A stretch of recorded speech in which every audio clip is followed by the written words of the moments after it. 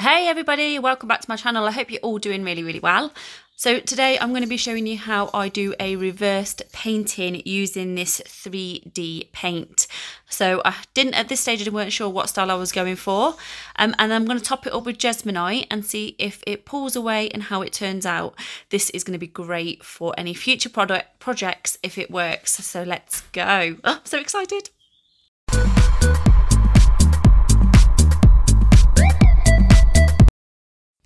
Okay, so reverse painting. Um, I had to do a few YouTube checks on this um, just to see how it goes, but it is just literally trying to paint backwards because when you flip it around, you don't want this to be showing in a different way. So this is what I'm doing. I'm doing the line in first and then I build colour underneath. Um, I wanted to do layers. I wanted it to blend really, really well.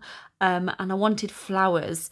Now, um, again, these are quite old. I've had these a while. So I'm literally going through my whole inventory of products that I've got to see what goes with what and seeing how it all turns out. So it's kind of a bit of a been a bit of a tester at the moment. Um, I've currently also joined the gym. I know this is completely off record, um, but I've got a bit behind. Normally I'm ahead with my videos, so I'm literally working to the point at the minute. So I'm hoping that once everything settles that I will be ahead again and I will know where I am. So this piece I had to do um, and because I love painting, um, I love being creative, I wanted to be able to do this and see if this works with the Jesmonite. I am so pleased with how this has turned out. Now this was meant to be a bit of a rose, but remember this is 3 3D paint that I'm using. Um, I know my acrylics, um, when I'm trying to do reversed painting on a mould, kind of repels. Um, it didn't work as well as this, so I wanted to know if these would work. So this is not even a test run. This is this is me doing it recording it and if it works it works. If it don't it don't. I'm not afraid to show you what fails.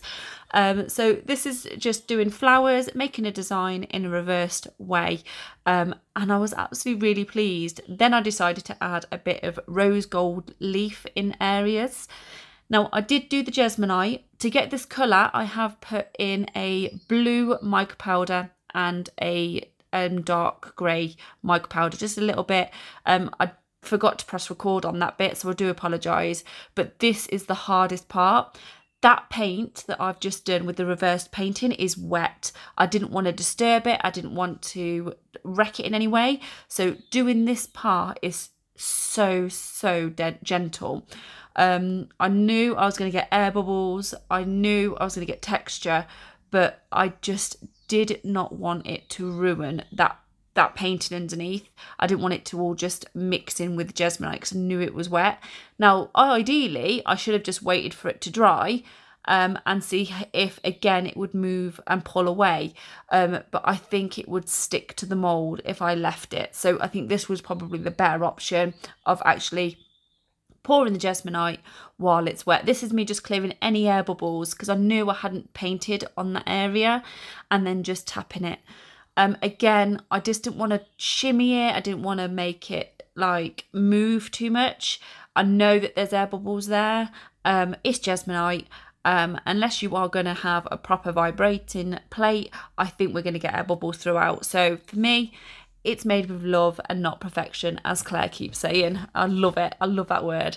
So this is me just showing that there is air bubbles in this, um, but it just had to stay. I could sand them out. It wouldn't be a problem. And when I flipped this round, I was so, so excited.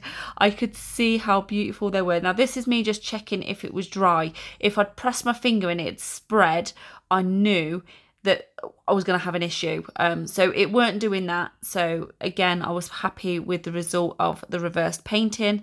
And then I flipped this off. Oh my God. Although there was some paint transfer on the mould, I love the texture this left. It did dip. So there was like holes. Remember, I am using 3D painting and it is slight, sorry, paint, and it is slightly wet. Um, but it is absolutely stunning. I absolutely love how this turned out. Now this is just me cleaning that wipe with uh, wipe, cleaning the mold with a wipe, cleaning up. I love to be clean. I don't like mess, but I just wanted to show you that it was quick and easy to wipe off if you did it fast. Loved it. Now I left it 24 hours to dry because I knew it wasn't dry, but you can see the textures in this tray where the 3D paint had caused a dip, but I love it. Absolutely love the textures. However, I did go for a resin finish. So I did do a resin top coat on this to seal it and protect it. Um, I actually poured my B before my A. Um, I found somebody mentioned that it was easier to mix um, with the A going on top. I didn't find any difference. Um, I think I'll just go back to doing what it should do.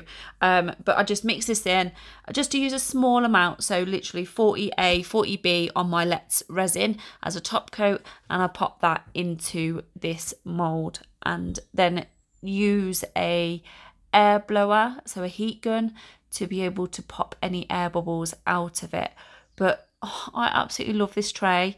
I love the painting. I am going to challenge myself to do something a little bit more technical. What would you like to see? If you're still here, pop in the comments. What sort of things would you do if you had the skill to be able to paint 3D in reverse into a Jesmonite tray. Um, I can even probably do handwriting. However, that's just cheating. I've got a Cricut to be able to put vinyl on, but absolutely love it. But thank you for being here. Remember to like and subscribe, and I will see you on my next video. Thank you. Bye bye, and see you next time.